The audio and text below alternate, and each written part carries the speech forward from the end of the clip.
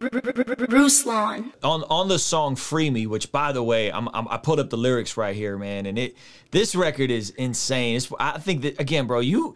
I'm give, I'm telling you this stuff to your face so that so that you know how much I really enjoy the music. But some of these records, concept concept records, how emotional, how vividly you paint pictures. I've ranted about you for like 30 minutes on our Fan Love Friday stream in terms of just your ability to blend cadences, melodies, and vivid imagery in these in these lyrics. You see, you say naturally, I got to thinking, who could I blame then? I looked over to my wife and told her it was over. She was in the way, and then you go on to say how she held you down. Is that what led to the to the the, the, the marriage issues? And and then you talk about posting it on social media, and it kind of sounds like you regretted posting it and on social media as if you were celebrating it. Because I remember seeing that post and like, whoa.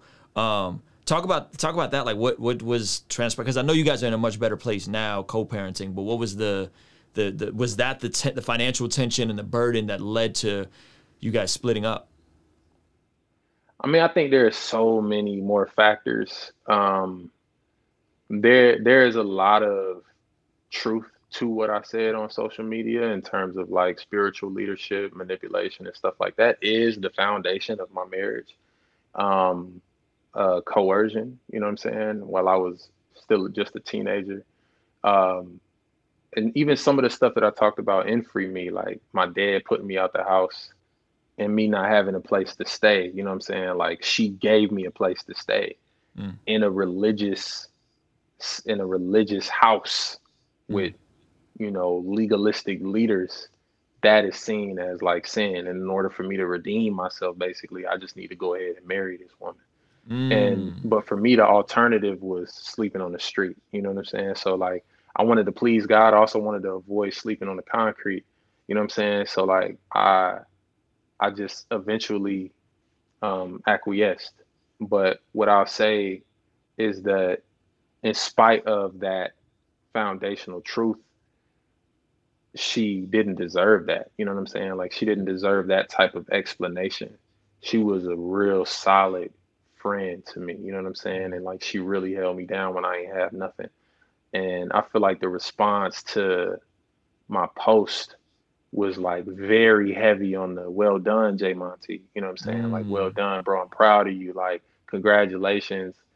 And that kind of haunted me because I was just like,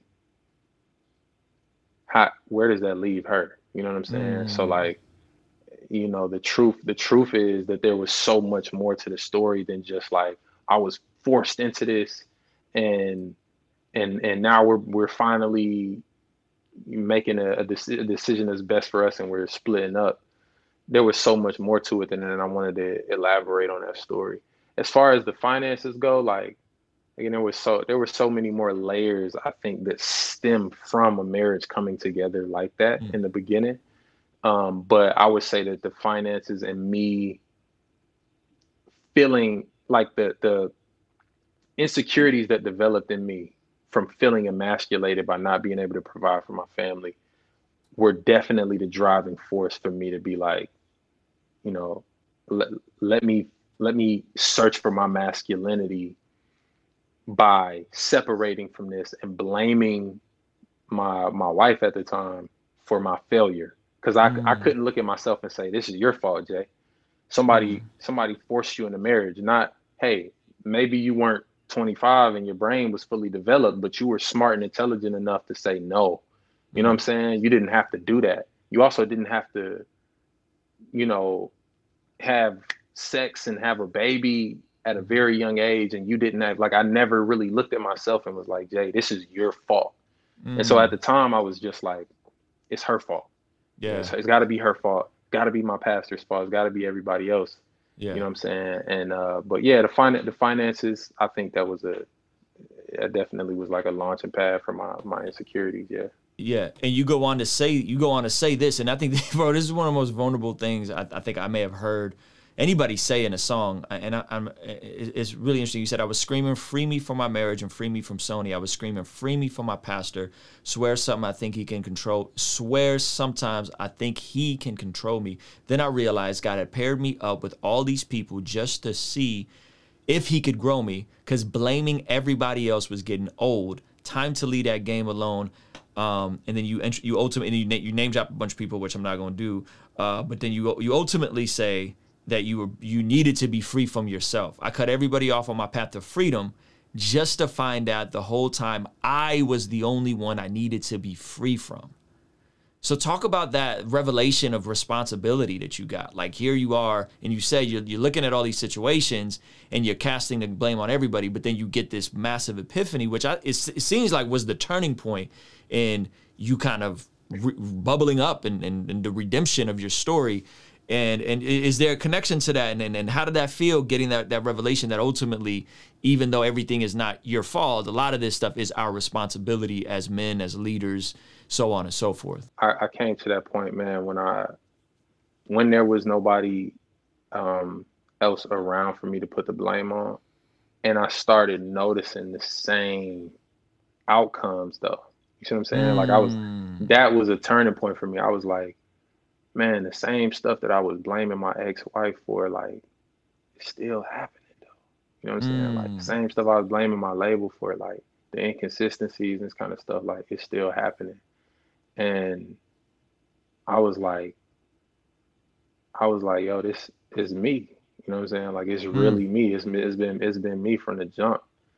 And then like at that moment, and it was hard to accept and to build on that and to heal from that. But like at that moment, I was like free for real, you know. And then that's when I started like I started like really taking taking hold of everything in my destiny, like my future. I started getting way more organized.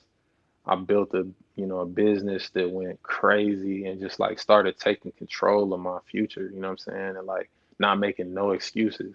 You know, yeah. and then I mean it changed it changed the game for me. Like I was able to fully fund like everything I've done from that from that point forward. From yeah. that moment of just taking responsibility, you know what I'm saying? Yeah, yeah. It seems like you were hit with this hyper responsibility, and then all of a sudden, you emerged.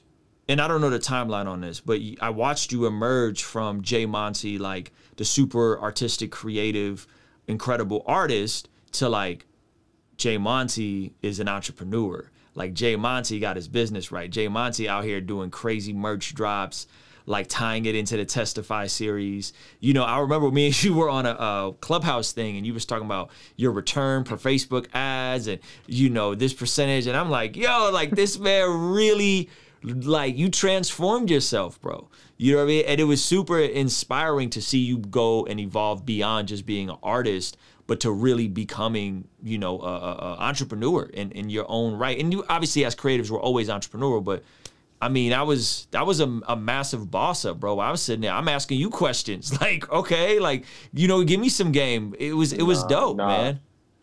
I definitely watched a few Ruslan YouTube videos on my way to establishing my business. Uh, oh man, I didn't know that. So. That's that's actually oh, yeah, really no, cool I, to hear. I, I definitely picked up some gems from you, bro, on the way, and some inspiration. wow, for sure. So, so yeah. okay, so so so the the re- the redemption of this story to me is that you you took hyper responsibility for everything in your life and and with the power of God, you were able to turn it around. You know what I mean? Where uh, you know, from my understanding, you, you're doing really well financially now. Praise God. And when I hear these stories on here, man, like they're so heartbreaking. Um, there's a song on here about you know sleeping out your car. Uh, this song, "Free Me." Um, there's there's young artists watching this man, and they, and they're they're defaulting to this like super duper artsy fartsy. I'm just want to be an artist and never promote my music and never get my business acumen. Like, what's some what's some just some game that that that, that you would give them in terms of um, not sometimes it's just a, a false dilemma between art and commerce. Sometimes it's a it's a false dilemma between ministry and commerce, right? Because I'm doing it for God, therefore I shouldn't make money, or I, sh- I, I shouldn't make the type of money I can make, right? Um, mm-hmm. Can you just j- j- just speak into that? I think I do. I do think that there's a a, a conflict there um, of interest. A lot of people feel guilty making money, especially spiritual um, artists. Um, Christian artists feel guilty making money, and I, I, just think that that's just biblically inaccurate. If you Come really on. search the scriptures, you're going to see. Come on. Uh, that it's it's it's a bit of a command and a commission for us to be financially astute and aggressive um, to be able to be effective in the in the kingdom. So and I would say stop making excuses. You know what I'm saying? Mm. That you you're riding everything on your talent alone, but Mm. your talent isn't going to get you there. You're in a you're you're in a in an incredibly over oversaturated market with millions of other artists that are equally, if not more talented than you. You'll never be heard if you don't set yourself apart from them through business acumen, through finances, through marketing dollars, and and and obviously you still need to be a, a little dope or at least dye your hair Mhm. or, or something to stand out. But um, you know, yeah, that's what I was. Uh, and, and again, guys, like really go listen to the album. Like I'm not just saying that. Like go go listen to the album because I think um, one, I just think it cre- it's creatively excellent, and I and I can't I can't speak to that enough. But two, um, the vulnerability, the vivid, the the imagery, the storytelling, the the message of it, the ultimate message of where you land with Free Me. KingsDream Entertainment. Ruslan. Hey, thank you so much for making it to the end of this video. If you found it valuable, please consider giving it a like and subscribing. You can check out one of the other videos related to this that'll be over here. Now, I gotta tell you about a free training I have for anyone that is an entrepreneur, a creative, an artist, but maybe you are unsure on how to find your voice, how to find your niche. I have a free training in the description of this video. Check it out. Once again, thank you so much for watching. I appreciate you, and I will see you on the next video.